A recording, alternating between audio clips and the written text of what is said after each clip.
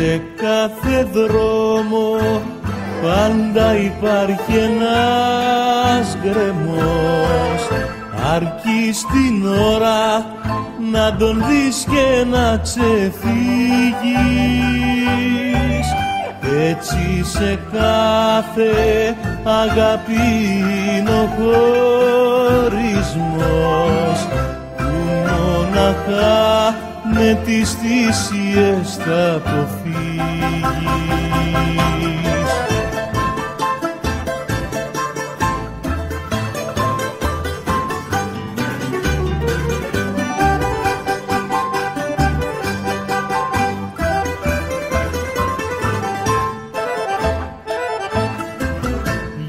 Να έχεις πάντα σε τούτη τη ζωή χαρά. Τον άνθρωπο σου πάντα βάσταξε κοντά σου. Και θα με στήριγμα σαν θα έρθει συμφορά και σαν θα δεις να ανοίγε το γκρεμός μπροστά σου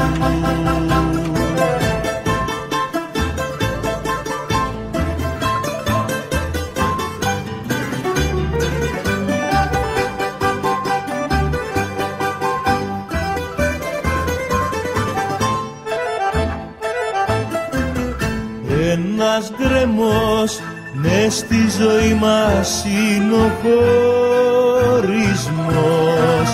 Της ευτυχίας κόβει απότομα τη στράτα.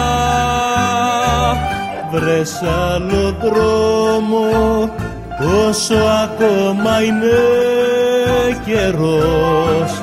Και με τον άνθρωπο που πόνεσαι σπερπάτα. Βρες άλλο δρόμο όσο ακόμα είναι καιρός. Και με τον άνθρωπο που πόνεσαι σπερπάτα